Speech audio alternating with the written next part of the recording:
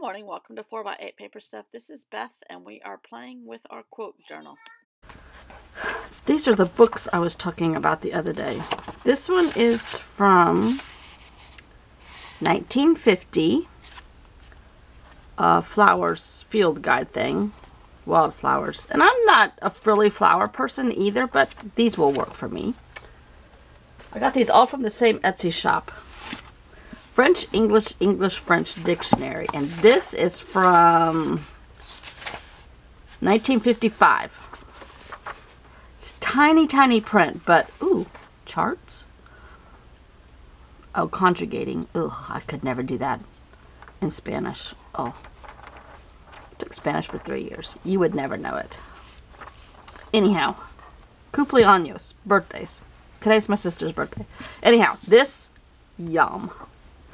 And there are quite a few pages, so maybe I can, like, not have to photocopy stuff.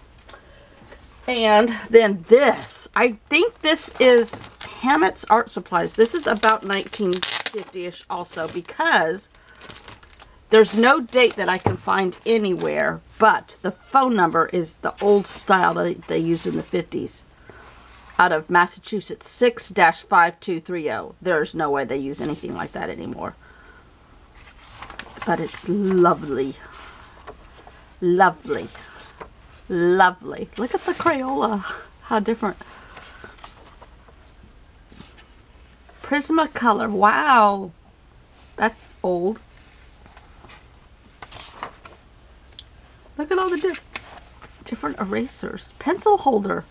That's interesting. It looks like a breadboard. Charcoal stumps pencil pointers. Sandpaper, 12 sheets of sandpaper firmly glued to a wooden handle. I guess you would like sharpen your pencil on the sandpaper. Interesting. Drawing boards. This is more um, architect. Compasses and protractors and bogus paper. Heavyweight light gray paper with an extra rough surface. Crayons, charcoal, tempera. Tempera. 250 sheets called bogus paper, metric graph paper, mechanical drawing paper, watercolor papers. Strathmore, still good.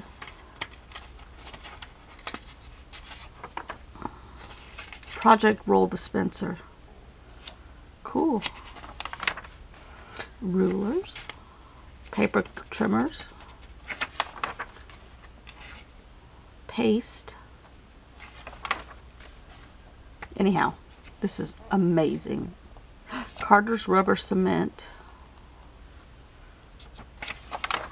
Oh, look at the fancy paper clips. I have some of these now. Hole puncher. Labels. Still love these kind of labels. Anyhow, I thought this was cool. This I will photocopy. Anyhow, let's see if I can get it back in here without ripping it. So my next big question is, did I put in my stuff upside down? I think I put the Audrey Hepburn in one upside down. These are all up, up, up, up. Oh, I did do it right. What do you know? okay. Uh, I'm filming this Friday night. I have tomorrow off, and I think as a family we're going to try to do something with Bella Kent, my husband and I and Bella because that hasn't happened in a very long time. And then my sis, there's a chance my mom may go home on Sunday, so I might, the day you're seeing this, she might go home. And my sister's going tomorrow, and I'm going to go on Sunday. So, um, I don't know my schedule. And I got some more dog food cardboard. We're getting ready to have to make his dog food. Um, he has skin issues, allergy issues, mainly because his skin is very pink and it's very exposed to the sun. And he's 14 years old. Um, but he gets irritated skin very easily without being too gross. And uh, he has to have seafood, dog food, which I've been ordering it online because hard to find seafood dog food all the time. And when you only have certain amount of hours and every other four days to find dog food, that's one of the things you're like, well, I'll just start buying it online. and they sent me the entire wrong order the other day. So, I'm getting ready to make it like with salmon, like canned salmon, and rice and peas and carrots. So it's all fresh. Okay, here's my pile that's left. I think there's still two quotes left. I put them in here last night. Yeah. Without friends, no one would choose to live, though he had all other goods. Aristotle. This is true. Thank you, Curti. So, good friends. My pile is dwindling for sure. Let's see how much is left in this book. Alright, I got a little page here. Try to fill them all in now. And whatever is done by the end of the month is done. A little bit here. That would be kind of fun. Then I have like a little bit here working around this vertical tip in, which I really like that one. And that's that one. This one's almost full. I have this right here, but I might make like a what I did description of my project. I have a little bit of a newspaper thing going on here. And this fish still. I got to find a fish quote so I can use that half of the page. That's the first one I did, and I've lost track of all the numbers. And I did the sorry on that page. There's a little bit here. Okay, there's a little bit going on here. Maybe we'll use this page today.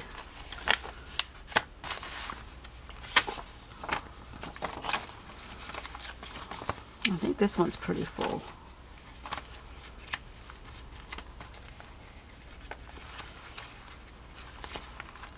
A little bit right there. Yeah, this one's, well, I have all of this in here.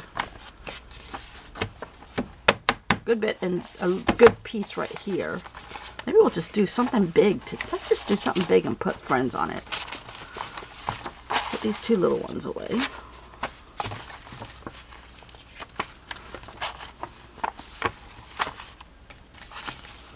Okay, enough of that chit chat and wander. We're going with something big.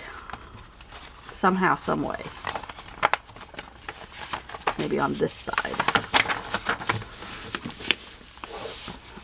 A centerfold. Friendship deserves a centerfold. I don't know how I'm going to do this, but here we go. Let me make sure my camera's good. I've been chopping, put little, a little bit more right here. Okay. Here we go. So, what am I going to do with all this space? I am going to put every little thing on here that I can't figure out what to do with. And I'm just going to make a huge collage of paper. And I never said I couldn't paint on the paper, right? So we're going to paint on it, I think. First, I'm going to write out my quote. And it says, I already read it, without friends, no one would choose to live though he had all the goods, Aristotle.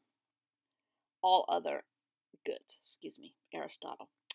So that's going to be my quote, and I'm going to make a mishmash of art. Mishmash of art. That's a very technical term. So I have a, several papers that are in this kit that I made up myself, and I have to either use it or lose it. Uh, that are just plain white or tan pieces of copy paper or just plain, plain, plain paper with the thought that, you know, I could paint on them or whatever. I don't draw on them. I don't know. So I'm going to put a couple of those down just to use them because I haven't used them yet. And I'm not feeling it at all, I have to admit, at this point. But this kind of stuff is very freeing, and I was hoping it would do what it did. I just am thinking very little about what I'm putting on here. Um, it is stuff that I don't know, like that wedding brochure. It's a wedding brochure, wedding advertisement on that brochure from Blowing Rock. I've used a couple pieces out of it, but I didn't know what I was going to do at the point at with the rest of it. At about this point, I start getting a groove of making sure things overlap, tearing out things and not thinking about color, tearing, which I really don't do any of that anyhow. I don't plan a whole heck of a lot. I think that's kind of obvious. And um, just making sure everything is connected, I guess is a good way to describe it, in my opinion. Um, connecting all this paper together so it can turn into one big piece of art. In doing all of this, I have cleaned up my pile considerably, found one more quote, and really, or really, or really, this, I highly recommend this. I should be doing this every single day. I wanted to do some kind of little thing called um, no clean desks allowed because usually my desk is not clean. But there's just too much going on in my personal life with healthcare issues and uh, with parents. And I have really this this is freeing. This feels good. This feels like art. This is highly recommended. And so I'm going to get out my paint and I'm going to paint on it in a random fashion and connect all the, the paper that's not connected with paint. Um, I think my dog is banging on his water dish. means he's thirsty or it's empty or both. Anyhow, I got out the same colors I use a lot turquoise, yellow, pink, um, a little bit too much turquoise, but that's okay. It all works. This is just no thinking, connecting everything, and going for it. And I, I highly recommend doing stuff like this. Um, I am not an artist. It's highly uh, noticeable, but I sure have fun with art supplies. And I'm just cleaning up. I have a little bit too much paint, so I'm using some of other pages that are going to go in another project one day and try to dry up some of this stuff and smush some of the thicker spots around and thin it up and dry it up enough to get my quote glued on here. And this pretty much is the gist of the page. All I did was connect with paper by connecting paper and paint. Um, for me, that's one of the best therapies there is. I even took the edges of that quote, and that's still that same brown paper bag from Bon Kuchin. They were in the Traveler's Notebook newsletter I saw on somebody's stuff. I think I Love Mitts or My Life Mitts. Anyhow, uh, good for them. But this is it.